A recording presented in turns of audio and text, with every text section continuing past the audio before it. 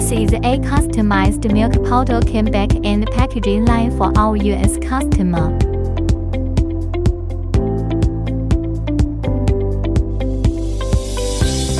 9 meter long overbridge conveyor belt transports sealed milk powder cans from the production plant to the back end packaging plant.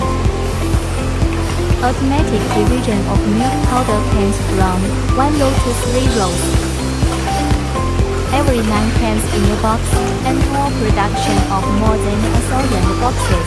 Effective alternative to manual labor. Reduce costs and improve efficiency.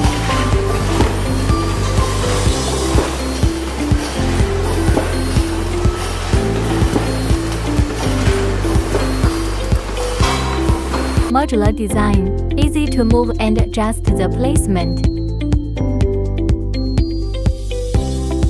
The customized palletizing method, according to customer requirements.